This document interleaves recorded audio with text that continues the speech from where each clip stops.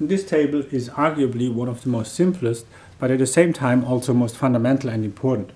It collects average bulk compositions of all the various chondrite groups. So the first column are the various elements, and then the following columns are the various chondrite groups. So the first couple of columns are the carbonaceous chondrites and ordinary chondrites, enstatite R and K chondrites. Now the unit is always the same, it's always weight percent, uh, weight ppm. And this is quite convenient for calculations because if we do some normalization, for example, normalizing to magnesium or something like this, then if we divide silicon by magnesium and both have weight percent, then it's fine. But if um, we use zinc or indium, then zinc might be um, weight ppm and indium weight ppb and magnesium weight percent. And then if we divide these um, through each other, we get some problems with the, with the units here. But if all are in the same, then there's no problem. So I want to show just um, briefly how we can use a program like Mathematica, for example, to very quickly uh, look at these data. So in this program, the first two lines just import this data set and then the values of the data set are stored in this imp value here. And this is one command that with which I can um, conveniently extract individual columns from this data set. So I execute this. And then, for example, in IMP, now the data set is stored. So if I look just at the first line of IMP, so I will get the various categories. So I execute it and get the various categories, which are the various chondrite groups. And I can use this command, extract data, and um, use it for on the IMP data set. And I want to extract, for example, CI data and I need to put a 1, which means I'm extracting columns and I get the data here.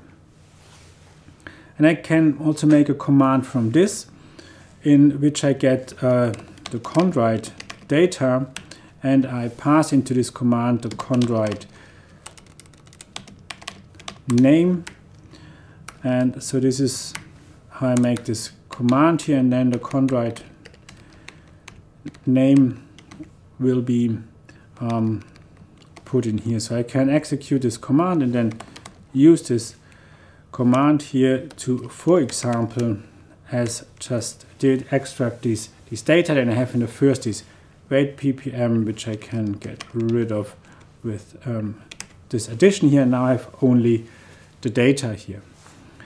And I can make then the same for CV, for example.